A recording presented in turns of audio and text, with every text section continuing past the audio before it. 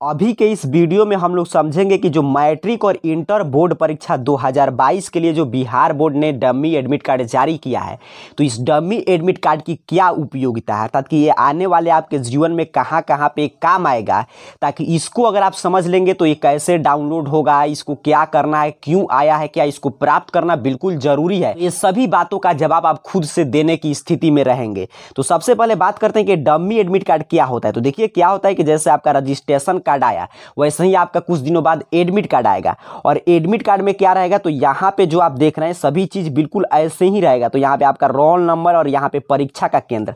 अर्थात कि आपका रोल नंबर कितना है और आपका एग्ज़ाम सेंटर कहाँ पे भेजा गया है। और यहाँ पे जो विषय देख रहे हैं, इसके नीचे यहाँ पे आपका परीक्षा का रूटीन रहेगा कि आपका किस दिन कौन सा सब्जेक्ट का परीक्षा है। वो रहता है आपके जो ओरिजिनल एडमिट कार्ड आएगा, उसमें। ये है डमी एडमिट कार्ड। तो इसको अब क्यों जारी किया गया? तो इसको जारी करने का एक ही उद्देश्य है डमी एडमिट कार्ड का कहीं पे कोई भी महत्व नहीं है। सिर्फ़ इसको आपको डाउनलोड करके देख लेना है कि हाँ इसमें आपका नाम माता पिता के नाम कॉलेज या आपका रजिस्ट्रेशन नंबर रोल कोड लिंग यहाँ पे रेगुलर है। यहाँ पे आप दिव्यांग कोटि के हैं कि नहीं? आप ये सभी विषय लिए हैं कि नहीं? ये सभी चीज़ आपका फ़ोटो है कि नहीं? सिग्नेचर है कि नहीं? ये सभी चीज़ सिंपल सा आपको मिलान कर लेना है। बस इसी के लिए ये आया है। और ज़्यादा इसका कोई भी उपयोगिता नहीं है। देखिए, यहाँ पे स्पष्ट रूप से इंस्ट्रक्शन में दिखाया जा रहा है कि यह डम्मी प्रवेश पत्र है। इसके आधार पे परीक्षार्थी को परीक्षा केंद्र में प्रवेश नहीं दिया जाएगा। से आपको एक बात क्लियर समझ में आ गया कि ये डम्मी एडमिट कार्ड है। इसको सिर्फ़ आपको डाउनलोड करना है, इसको प्राप्त करके संभाल कर रखने की कोई आवश्यकता नहीं अगर इसको आप डाउनलोड कर पा रहे हैं अपने स्कूल कॉलेज से जाकर प्राप्त कर ले रहे हैं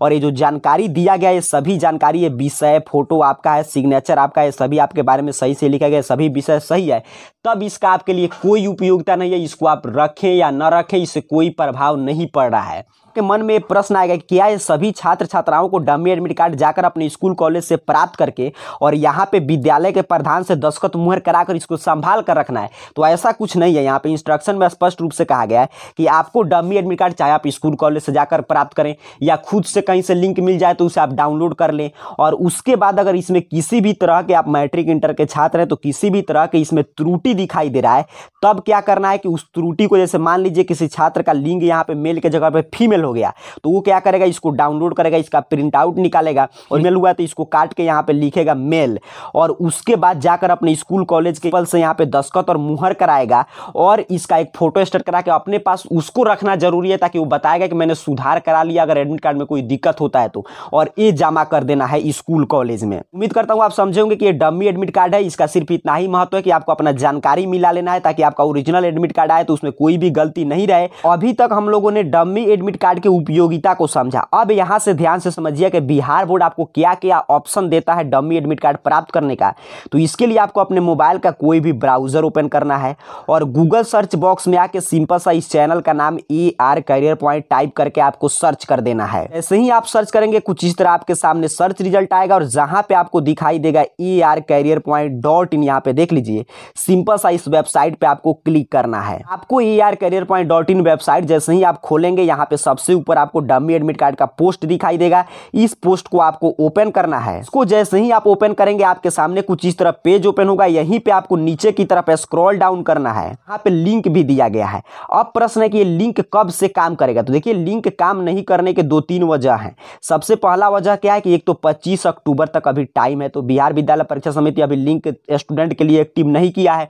और दूसरा, कि ये 25 अक्टूबर से ऐसा पॉसिबिलिटी है कि आगे भी डेट बढ़ेगा। अर्थात कि आगे भी अभी डेट बढ़ सकता है, आपको सुधार कराने का डाउनलोड करने का, आगे भी ऑप्शन दिया जाएगा।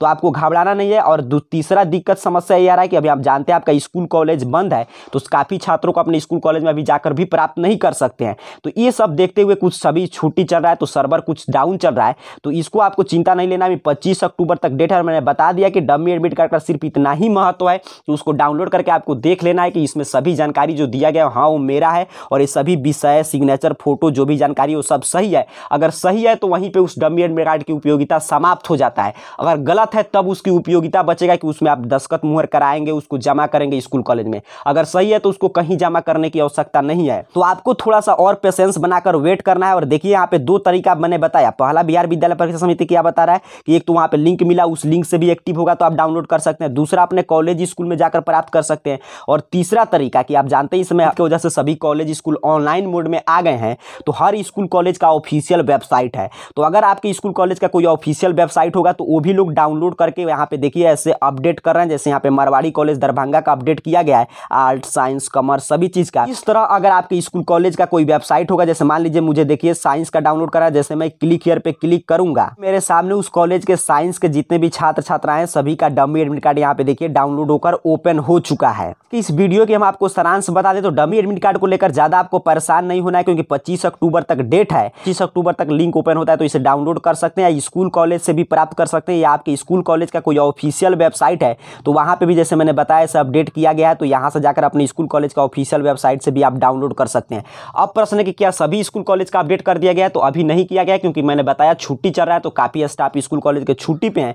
तो इसी वजह से ऐसी समस्या आ रहा है, जैसे ही छुट्टी समाप्त होगा, वैसे ही ये समस्या को ठीक कर लिया जाएगा। क्या करना है? ए आर वेबसाइट पे आना है, जैसे ही कि सभी कॉलेज का यहाँ पे अपडेट होगा, यहाँ पे सभी जानकारी नीचे अपडेट दिया जाएगा। यहाँ से भी आके आप क्लिक करके डाउनलोड कर सकते हैं या यहाँ पे जो लिंक दिया गया, इस लिंक पे आपको विज़िट करना है क्योंकि लिंक कभी भी ओपन हो सकता है। जैसे ही लिंक ओपन होगा, उसकी जानकारी हम आपको देंगे। तब तक तक के लिए आप भी A R career point dot in website पर आके ऐसे चेक कर सकते हैं। आप सभी को बहुत बहुत धन्यवाद।